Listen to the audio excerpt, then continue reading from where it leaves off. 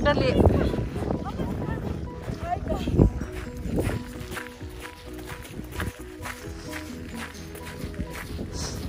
Pick up the bus 10.20 or 10.40.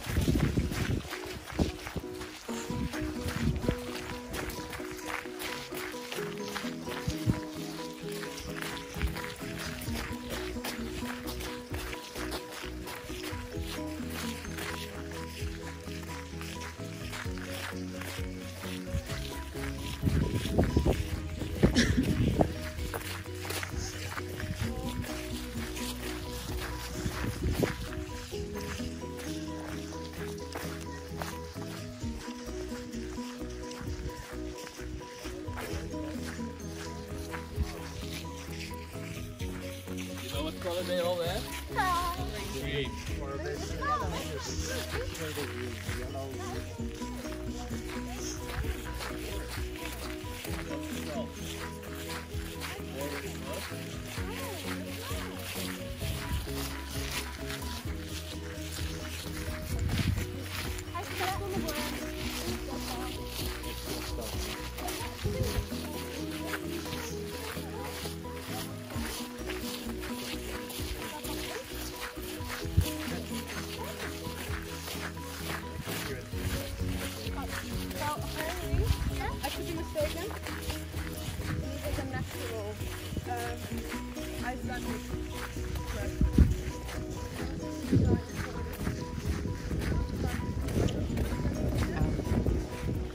Store guys, That's what I told you, it's very amazing.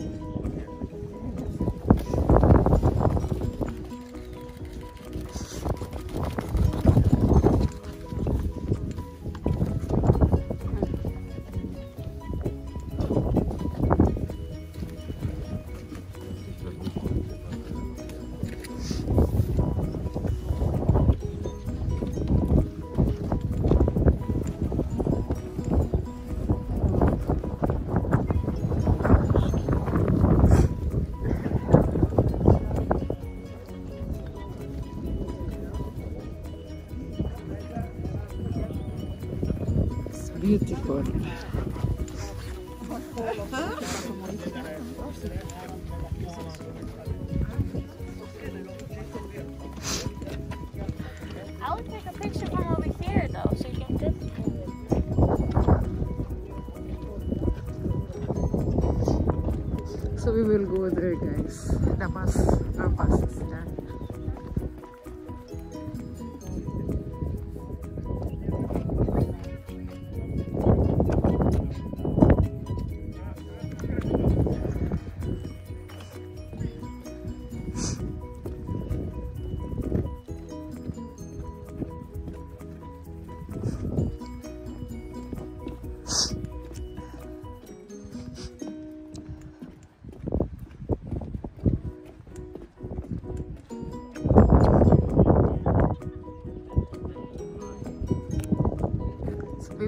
The bus 10.20 so I have still uh, 9 minutes.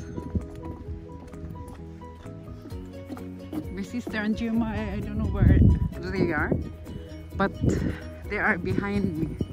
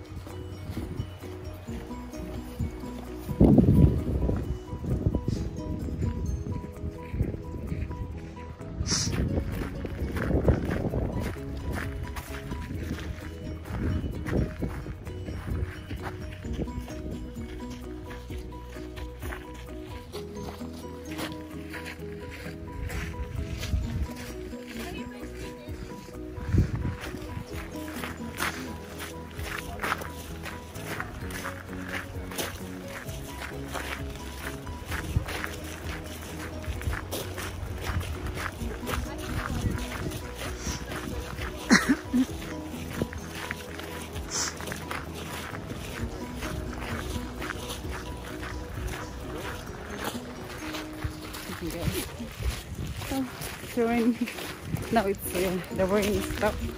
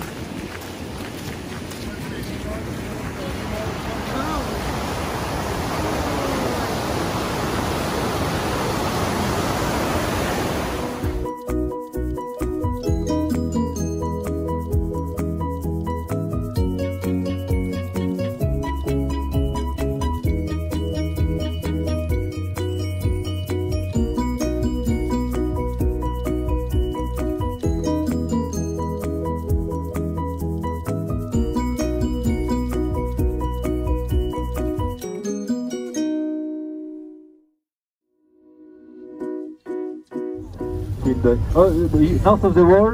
You know the wall in Game of Thrones. All the north of the wall was filmed. Most of it was filmed in Iceland, but not here. In uh, on the glacier, in the east of the country, with all the ice and the snow. And it's, and it's also where they filmed um, Interstellar. You know the movie Interstellar with the ice planet, and also Batman Begins. Yeah, Batman Begins. The same uh, director actually, Christopher Nolan. He loved Iceland so much that he came twice to film. And uh, yeah, the name of this river, Öxarárfoss, is because in the old time we had a troll here. You know troll from the Nordic mythology, like as they have in Norway, the trolls. So a very big uh, troll was here, and uh, the people were a bit uh, scared of this troll uh, being around. So one day they sent one man uh, hunting the troll. Um, and uh, this man went with his axe. He has an axe. And uh, he found the troll and he threw the, the axe to her back. It was a female uh, troll. And then she was bleeding and she disappeared in the mountains we have here in front of us, these mountains. She disappeared, she went there, and they never saw this troll again. So they believe that she died there in the mountain or she just decided to leave this place. But then a few days later they found the, the axe uh, in the river and with a bit of blood also. And that's why they called this uh, river Axe River. Oh. Axe River. And uh, also they believed, Icelanders believe that we find once a year uh, wine in the river. It, it, once a year there is some wine instead of water. So maybe, I don't know which day it is, I would love to, to go and uh, check if it's uh, some French wine or not. but uh, but no, it's uh, it's probably not true because it's just a legend, unfortunately. But it's from this uh, story, because they saw some red in the river, so they decided that once a year the gods will give some wine. You know, the pagan gods from the, from the Nordic mythology so this uh, beautiful river. The river comes from a glacier. So we have many glaciers in Iceland. The 10% of the country is covered by ice and the glacier rivers. And the lake, this very clear water we have in the lake uh, comes from the glaciers also and most of the water. And this water has been filtered in the volcanic rocks for more than 30 years. And that's why it is so clear. It's possible to do some uh, snorkeling and diving in uh, the lake and uh, the people who do that in, in the water they can see 150 de- uh, 150 meters around 360 degrees of course but 150 meters uh, very clear because of the clear water some uh, do some snorkeling or diving in a crack in a fissure named Silfra so they are diving between two continents two tectonic plates it's very close to the car park number two where, where we just uh, left from where we left so if you want to do something like that, uh, if you like diving and snorkeling, I recommend to go to Silfra. Some companies offer the tours. The water is very cold, of course, even in summer. So the people who do that, they have a dry suit, and then they can survive in this cold water. Yeah, water is very cold, even this lake. So the lakes are so cold in Iceland. We don't we don't swim in the lakes like they do in other. Uh, all these other European countries, they have a real summer with uh, warm temperatures. They have 40 degrees right now in most of the European countries. That is too much. We never have 40 degrees in Iceland. It's impossible. The warmest we get is usually 24 uh, degrees Celsius, only for a few hours. Usually during June or, or July. I heard about 25, I never saw it. Think it's a legend. So this is a Celsius, uh, cent- centigrades 25, 24 for the very good days. Most of the days are like today. Today actually is a warm day. So we don't have summers in Iceland like in other countries. You know, in Sweden, in Norway, or in Finland, we Lapland. I'm talking about Lapland, the north of these countries. If you go there, you can swim in the lakes. It's okay in summer. It's even more north than Iceland. They are closer to the Arctic Circle. Uh, they are over the Arctic Circle. But here, no, we don't swim. We just need to find some geothermal hot water. And where we go now, there is some hot water. That's why I want to stop there, make a quick stop. We're not going to swim there, but just to show you, show you that there is some hot water somewhere. So don't prepare your swimsuit for now. No, it's not for now. Wait for the Blue Lagoon for that. And now we are driving in a no man's land between Europe and America. So we left America. Goodbye America. See you tonight again. Now we go to Europe. So I told you that we are between the two tectonic plates. So there, is now six kilometers. So it's almost four miles between the plates because they are moving. They always move. The gap between the plates is bigger and bigger every year, uh, bigger by two centimeters a year. That's a lot. Those plates are moving uh, quite fast. So two centimeters more every year. Of course, sometimes there is almost nothing. Sometimes there is a small earthquake, and then uh, we can have one meter or ten centimeters in uh, one day. So I will tell you in a few, uh, in two minutes we will be in Europe. In uh, one minute. It's, it's uh, this uh, tectonic plate is one of the biggest with uh, the whole European continent. So we find Ireland, Sweden, Norway, England, just to talk about the best countries in Europe, because you are from these countries, some of you, but all the other European countries, of course, and also, uh, as I said before, all the way to China, uh, to Siberia. And here it is, just in front of us, Eurasian tectonic plate. This one, all the rocks you see in front is the beginning of, uh, of Europe, the European uh, part of Iceland. So maybe for some of you it's uh, the first time on this Euro Eurasian plate for the ones who come from North America. I don't know if you went before. Do you see the right side also? So here we are. And if you look to the right behind the lake, this is uh, the North American plate there in the distance now, six kilometers from here. And we were just driving in, the, in a national park with a lot of birch trees. Uh, when the settlers came to Iceland, they found a lot of these trees. One third of the country was covered by birch trees like this. But they used so much wood that now we have only 3% uh, of Iceland that is uh, forests like this. And uh, in this lake, I didn't tell you, but there is a lot of fish. We have fish everywhere in Iceland, in the lakes, in the rivers. In this one we can find uh, the brown trout, rainbow trout, Arctic trout. So the people who like fishing, they love uh, to do it in Iceland because it's a wonderful country for that. So it's not the best country for skiing, but for fishing it is, yes. A bit like in Scotland maybe, or in many other countries, Norway or Ireland a lot of fish. And we have the salmon, of course, like the three other countries I just mentioned. The salmon, uh, Arctic trout, trout, and many other kind of fish, especially in the Atlantic uh, Ocean. So for lunch, maybe you want to try some fish, fish soup or something. It's always good. Fish is delicious in Iceland. So let's uh, leave this national park and uh, we will uh, stop in uh, 20 minutes just make a quick stop to see some hot water there.